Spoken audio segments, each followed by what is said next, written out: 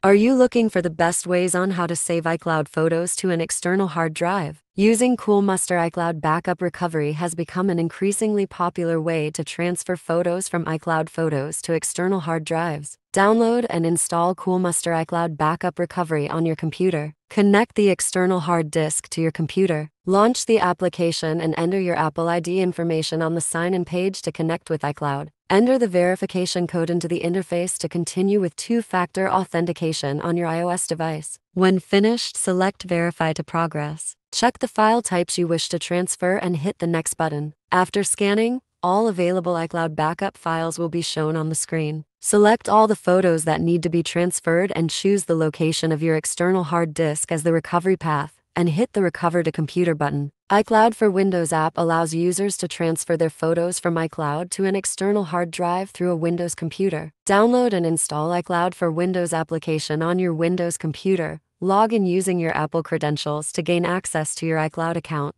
then connect the hard drive. Check the box beside Photos and select Options for further configuration. Make sure to check the box next to iCloud Photo Library and download new photos and videos to my PC when a pop-up appears. To change your photos destination, click Change. Next to download new photos and videos from my PC. Afterward, select the external hard disk as the preferred path for downloads. Once you have finished, hit Done and choose Apply to save all changes. Launch File Explorer and select the iCloud Photos option on the left side of your page. From there, choose the Downloads folder to browse for photos you wish to download to your external hard drive. The iCloud photos will be quickly transferred to your external hard drive, though the process could take a few minutes. You can also quickly download photos from the iCloud website onto an external hard disk through iCloud website. To start, Navigate to iCloud's official website using your Mac or PC web browser. Once on site, log in using your iCloud account credentials for further access. Sign in and select the Photos tab from the interface. To optimize selection time,